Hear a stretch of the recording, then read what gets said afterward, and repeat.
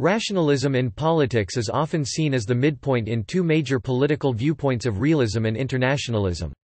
Whereas realism and internationalism are both on ends of the scale, rationalism tends to occupy the middle ground on most issues, and finds compromise between these two conflicting points of view.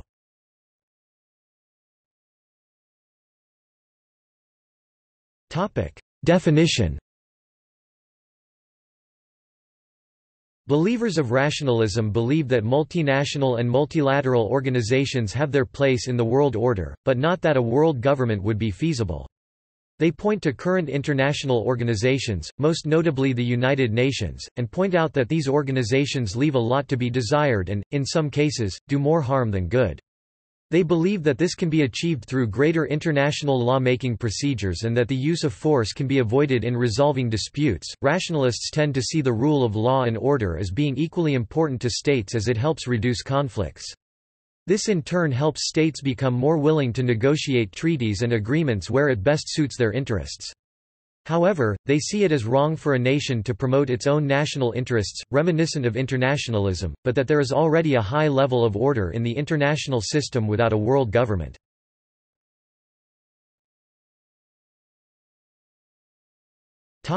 Views on sovereignty Rationalists believe that states have a right to sovereignty, particularly over territory, but that this sovereignty can be violated in exceptional circumstances, such as human rights violations.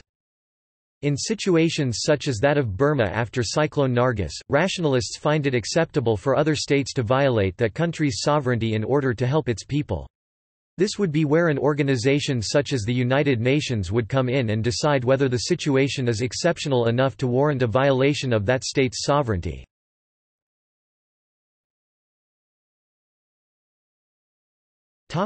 Attitude towards war There are several rationalist explanations for why states go to war. The first rationalist explanation for war is that of anarchy. Within a state, the existence of a central government that controls the means to violence keeps people in check.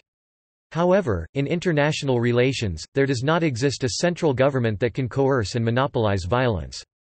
The rationalist anarchy claim is that because states do not have a higher power that can credibly threaten punishment for the use of violence, states are more likely to turn to war to resolve conflicts. The second rationalist explanation is that states engage in preventive war. This occurs when a state is declining in power and another state is rising in power. The declining power, expecting to be attacked in the future by the rising power, attacks the rising power now while the declining power is still relatively strong. Thirdly, there is the explanation of positive expected utility. War occurs in this scenario when the expected benefits of war outweigh the expected costs. Finally, the last two explanations for why rational leaders choose to go to war are that people have incentives to misrepresent information about their capabilities, making it hard to reach a trustworthy bargain, and because of commitment problems faced by the stronger state gives them incentive to renege on previously negotiated peace bargains.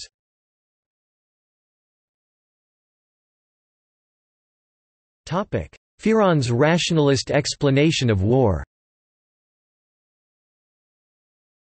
In his 1995 paper titled, "'Rationalist Explanations of War' James Fearon examines the five, predominant rationalist explanations for war and aims to evaluate their theoretical strength and empirical plausibility.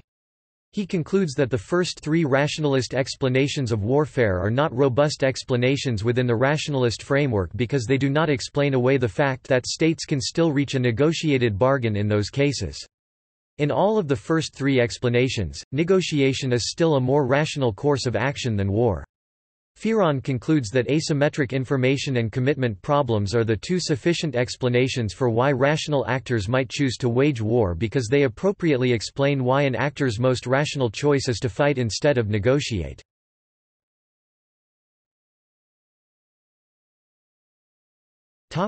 Comparison to other political perspectives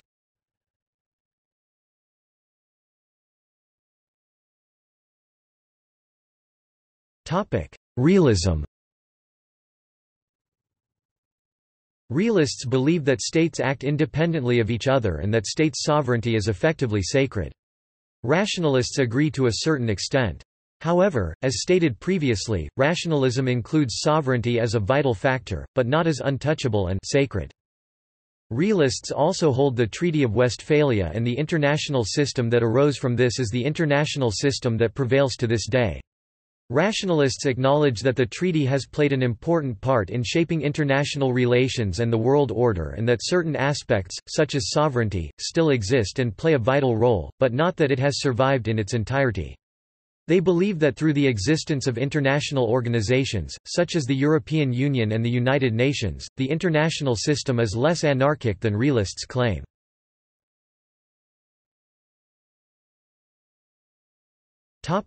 Internationalism Internationalists believe in a world order where an effective world government would govern the world, that sovereignty is an outdated concept and barrier to creating peace, the need for a common humanity and the need for cooperative solutions. Rationalists adhere to these beliefs to some extent. For example, with regards to the need for a common humanity and cooperative solutions, rationalists see this as being achieved without the need to abolish sovereignty and the Westphalian concept of the nation-state.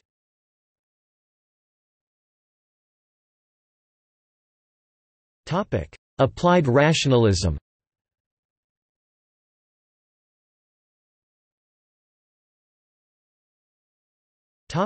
United Nations reform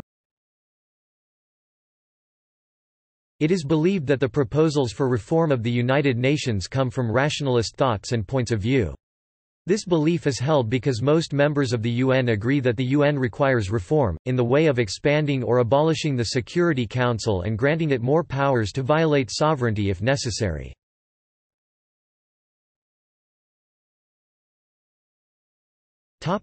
Examples Some figures who consider themselves as rationalist include Jürgen Habermas Victor Henry Lloyd James Fearon